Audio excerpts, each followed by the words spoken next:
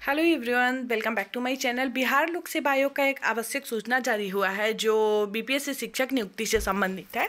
विज्ञापन संख्या यहाँ पे दिया गया है। विद्यालय अध्यापक नियुक्ति प्रतियोगिता परीक्षा से संबंधित परीक्षा फल प्रकाशन के उपरांत दिनांक 27 दस 2023 से अभ्यर्थी जो है, अपना अंक आयोग के वेबसाइट वेबसाइट यहाँ पे दिया गया पर अपने लॉगिन आईडी एवं पासवर्ड से लॉगिन करने के उपरांत अपने डैशबोर्ड पर जाकर जो है देख सकते हैं। तो कल से, सत्ताईस दस दो हज़ार तेईस से अंक जो है, किसको कितना अंक आया है वो दिखाया जाएगा, जो बीपीएससी का वेबसाइट है, उस पर लॉगिन करके और पासवर्ड दोनों चाहिए, उससे आप अपना अंक जो है देख सकते हैं कि आपको कितना मार्क्स आया है।